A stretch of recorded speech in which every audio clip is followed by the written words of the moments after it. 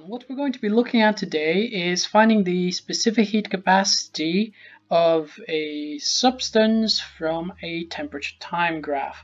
Now in order to do this we're going to imagine the following situation. We have a metal block over here and we've done an electrical experiment. So we have heated this up with a heater.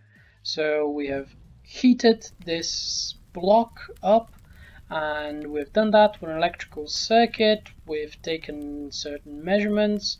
So let's say that our measurements are as follows. So our current during the heating period let's let's keep things simple. So let's say that was 2 amps. And let's say that our voltage was 6 volts.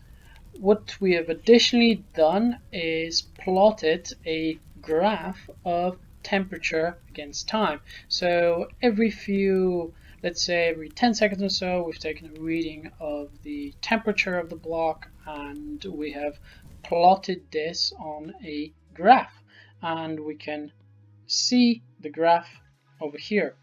Now, the question is, how can we use this graph to figure out the specific heat capacity of the block. Okay, so how do we determine the specific heat capacity of the block? The first step would be to write down our equation for specific heat capacity. So we know that the change in energy, let's call that delta E, that's simply going to equal mc times our change in temperature, delta theta. If you remember though, energy is power times time. So this is just a general equation, power multiplied by time. This is what energy is. And because this is the change in energy, I'm just going to add a little delta over here, the uh, power times the change in time. Normally we don't write this delta because we just assume that at some point t is equal to zero, such as the start of this graph. But just for this example, I'm going to write this and going to see why that is the case in a minute. Okay, so power times time is equal to mc delta theta. Remember power from GCSE electrical power is just voltage times current, so I can just say that this is equal to V times I times delta T. Oh, what's happened here? Times delta T is equal to mc delta theta. Okay, now notice that if I was to just put the delta t onto the other side, what I'm going to get is that v times i is going to equal mc delta theta over delta t. Hang on a minute, change in temperature over change in time. Look at that, this is actually equal to the gradient of this graph because remember the gradient is equal to change in y over change in x, essentially rise over run. So this is actually equal to change in temperature over change in time. So I can just write this as the gradient of, uh, of this graph. So we can just say that v times i is equal to mc times the gradient. I'm going to call that just grad. Okay, we can just rearrange for the specific heat capacity C as our final step. So C will just be equal to V times I divided by the mass times the gradient.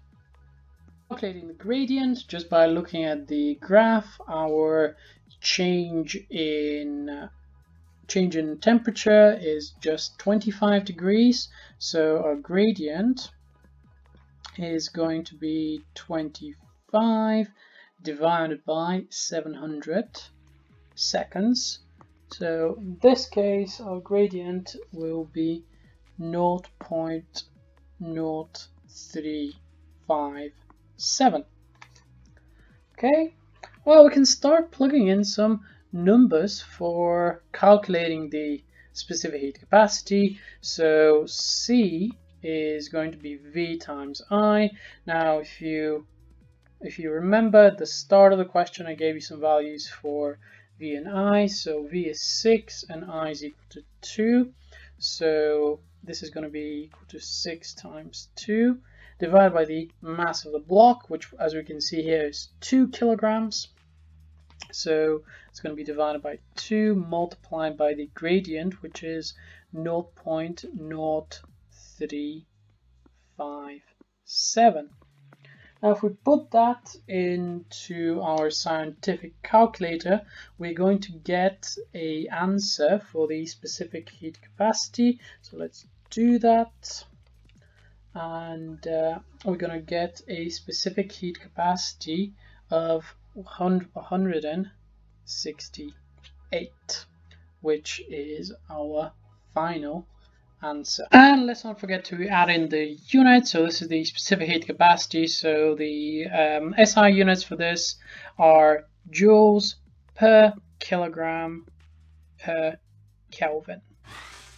Okay, folks, thank you very much. As always, if there are any questions, feel free to drop a comment down below.